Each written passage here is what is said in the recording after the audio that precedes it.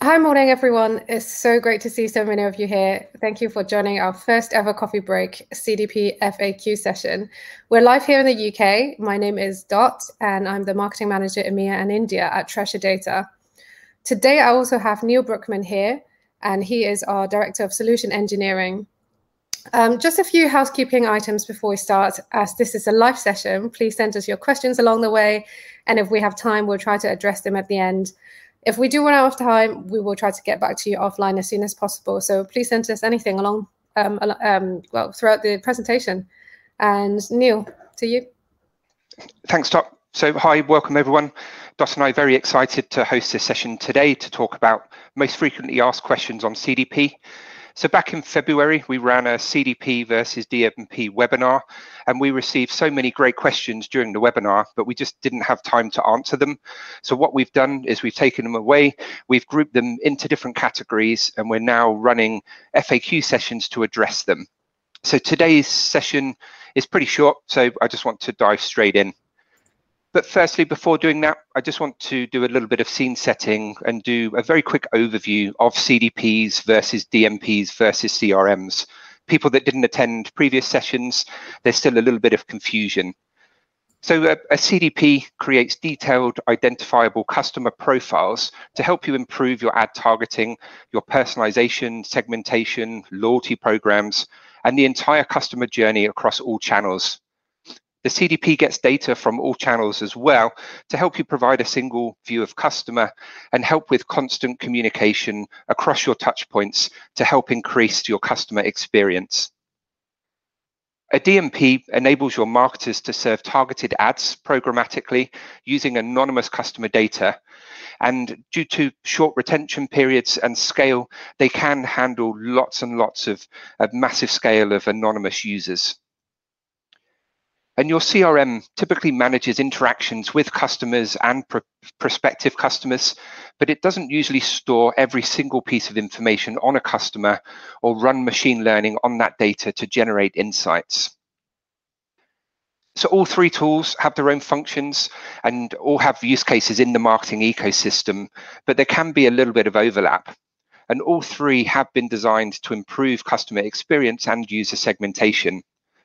But to simplify, a CRM is where your sales, service, or marketing teams typically manage customers and they update data directly in the CRM. A DMP tracks third party behavior, stores data for a short period of time, and helps with lookalike modeling and targeted ads. Whereas your CDP pulls in data from all of your sources to create a single view of customer. It stores data as long as you need to. That includes first, second, third party, and PII data but you wouldn't typically update data directly in the CDP. It would be pulling data from other systems. So let's get over to some of the questions. Yeah, so how do we assess the compatibility of uh, CDP and DMP? Are there any ideal combinations out there? So most CDPs should work with any DMP. So you should be able to choose your DMP based on your requirements and the CDP should work with it. You do need to ensure that your CDP can use the DMP identifier for its identity resolution. Then DMP data can be integrated into your CM CDP's single customer view.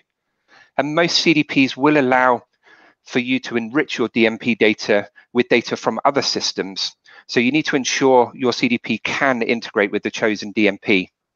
The good thing with the best of breed CDP like Treasure Data is you can use it with a best of breed DMP and not have to choose a CDP and DMP from the same vendor, vendor as part of a, a integrated stack.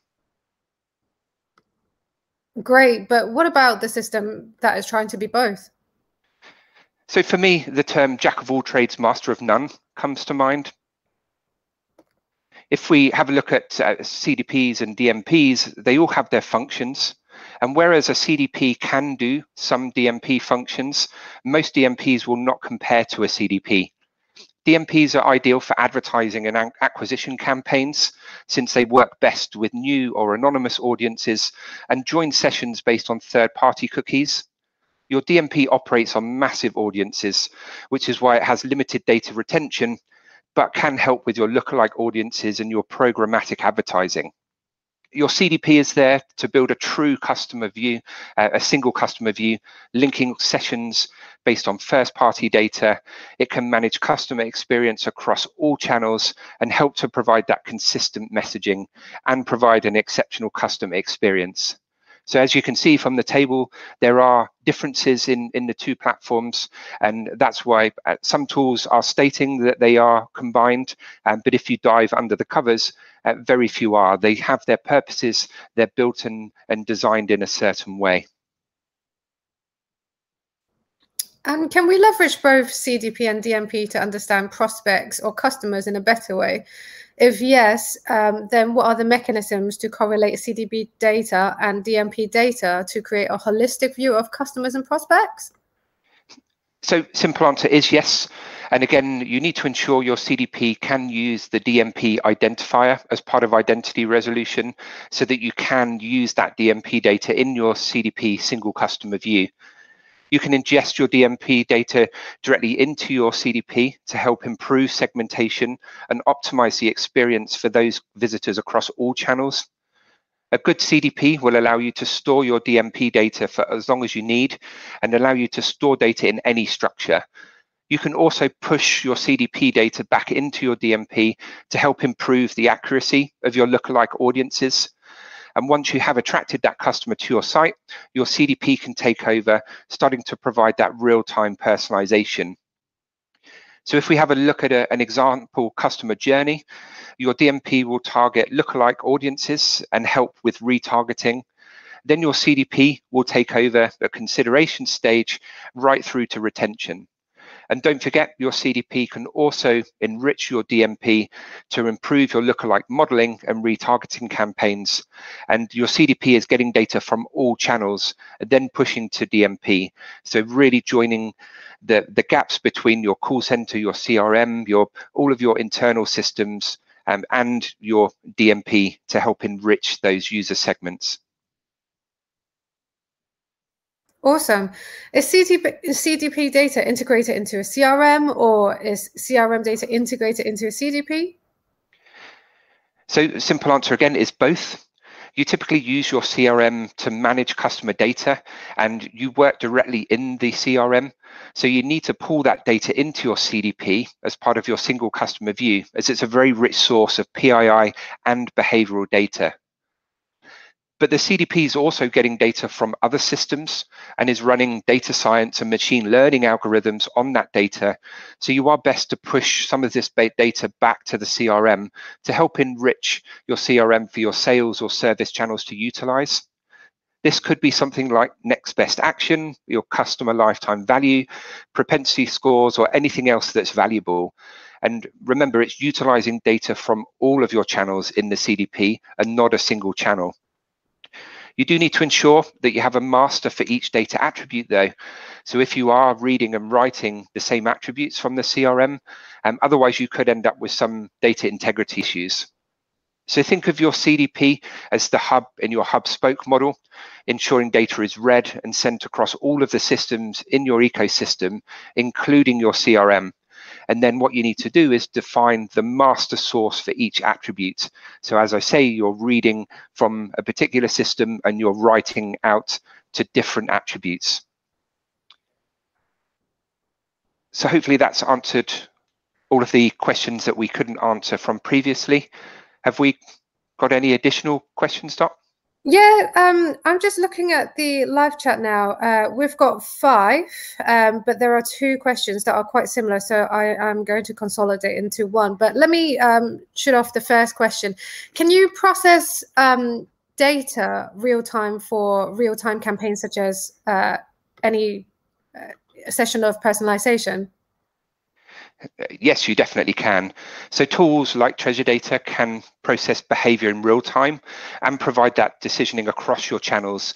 So channels like web, mobile, call center, your IoT devices, and, and anything else. So this includes in-session real-time personalization to help provide next best action for each user and can help provide consistent messaging across your channels. And again, as I mentioned in the, the previous questions, Treasure Data has data from all of your channels. So when you are doing your real-time decisioning, you're providing a better, more consistent user experience across all of your channels and also helping to uh, reduce spend. So as uh, uh, example, doing retargeting, if you can uh, suppress people in real time, you're not spending ad revenue on channels to target people that may have uh, you have acquired across an offline channel. Right. Okay, that's cool. Um, and the the second question is something that a lot of people do care about, and there's lots of people who's talking about the cookieless world out there. So the question is, do you see the CDP as a solution for the cookieless world? If yes, how do you position it? So third-party cookies are going away, as I think most people are aware, and it's going to provide a challenge for a lot of DMPs as you're not going to be able to stitch sessions together and see a few a user's full journey across time. A CDP like Treasure Data helps you match data on any attributes, So you can start to build a single customer view without relying on third-party cookies. So this could be joining sessions based on a logged in person's user ID, their email address, or a first-party cookie that doesn't have the same restrictions as a third-party cookie. So a CDP is collecting first party data, and that's data that you own. And you can even store consent for things like GDPR or CCPA within the CDP, and then ensuring that that data is only used for the purpose that the user has given consent. So we're actually providing a, an increased security with a CDP. So not just the uh, demise of third-party cookies, but making sure that we're using consent across the, the user's entire journey when we're doing that, that outbound communication as well. That's great. That's actually brilliant. Um, the third question um, is a pretty interesting one. Do you activate these campaigns via CDP or do you work with an activation partner? So if you're looking at a, an enterprise grade CDP like Treasure Data, it will always activate via your existing tools and not provide a, an all-in-one solution. So your marketing team, they're very used to working with activation tools. And most of the time, these tools have been chosen because they are industry leading with key functionality. So this is why a CDP should orchestrate across your activation channels and help to determine which channel to use, which message, and when to send it. But your marketing team will build templates and manage content in the activation channels as they do currently, and they don't need to learn a new, mm. potentially inferior tool to do that activation. Right, okay. Um, and there is the final questions. Um, it's more about the B2B. So how important is CDP in the B2B world today? And the question, uh, the second question that is very similar to this one is, is a CDP rather a B2C platform for mass data or also already strongly used for B2B, um, where CRM systems usually are the core? So a lot of people think of CDPs as B2C, and mainly because it has the word customer in them. It's a customer data platform, but they are also very valuable for a B2B. So a CDP like Treasure Data can help group users into companies, into functions. It could be business units. Can also get data from tools like LinkedIn. So you've suddenly got company and uh, job title, and can then provide insights and intelligence to help with decisioning. So can also be used to ensure that you're messaging at the right people at the right time. And as an example, it could be a a B2B SaaS company that has planned downtime rather than putting a message in the application for everybody to see, which could be uh, perceived as negative, just show it, show it to the users that are going to be affected. So people in a particular segment that are on the actual device that's going down for maintenance, or start putting people into an upsell campaign or a journey to target cross-channel if they're on a certain plan and you want to look to uh, get them to to upsell and they may be starting to exceed limits so from a a B2B, just in the same way as CDPs are used for B2C, pulling data, building that single view of customer, but again, a customer could become a business or a business unit and treating them in a certain way. So helping to enrich the CRM and pulling data from all of your uh, digital channels and online channels as well. Great. Well, thank you very much for the answers. Um, there's one more question that came in uh, literally just now. What are the typical sources which feed data into a DMP? And does it stitch data from different systems to avoid duplicate advertising efforts? So uh, DMPs are, are, typically pulling data from a digital channel. So it's it's dropping a third-party cookie and starting to uh, collect behavior from digital channels.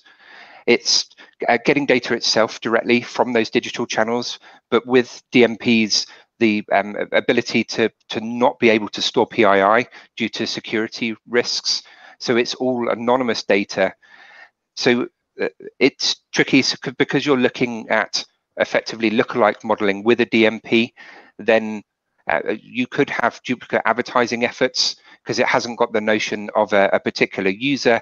And that's where a, a CDP comes in because a, a, CDP can get that DMP data, but also uh, get conversion from anonymous to known and make sure that your known users are targeted in the right way. So if somebody does make a purchase, you're not advertising a, a product that they've purchased on a, a different channel. Right. Okay. Okay. That's interesting. And we've literally just got another question um, came in as well. How do a CDP and master data management work together? Can we answer that today, Neil? Yes, of course. And so your um, MDM solution is is there to uh, as, as, effectively as like a data lake. So it's bringing everything in, and it has data for certain things. So a, a CDP, uh, the term CDP is fairly generic, and there are different types of CDP but a, a lot of CDPs are, are, there for marketing purposes. So your MDM is storing everything, as as I say, as part of a data lake. But your CDP is is utilizing data that would, excuse me, help you to have better marketing, better outbound communication, and allows your marketers to do their job. So what you wouldn't want to do potentially is put everything from your MDM or replace your MDM with a CDP because then your marketers have got too much data to be able to know how to do audience building correctly. What you would do is have your MDM integrated as a source with everything else, but then only expose the data that your marketers or your internal teams would utilize from the MDM. So it could be behavioral data, uh, depending on the vertical, it could be lots and lots of data that's assigned to a user uh, but again, put in a format that your marketers and internal teams can utilize to, to have effective communication. Great, I see. Well, these are, uh, I think that's about all the questions that we've got for now. Um, and we're coming up on time as well. Well, thank you very much for all your questions today. Um, we're limited on time. We do have to wrap up here now. Um, for those whom we have not been able to answer the question, we'll get back to you shortly. So please still send us any questions. And um, on the screen right now, um, please feel free to send your questions to uh, dorothy.chong at treasuredata.com. And uh, next week, we are going to talk about identity resolution, data, and consent, which a lot of people do care about uh, these days. If you're interested, please sign uh, please sign up below. You'll see a link. And thank you very much, Neil. Thank you so much for all your time, and um, have a good day and take care. Thanks, Stop. Thanks, everyone. Thank you.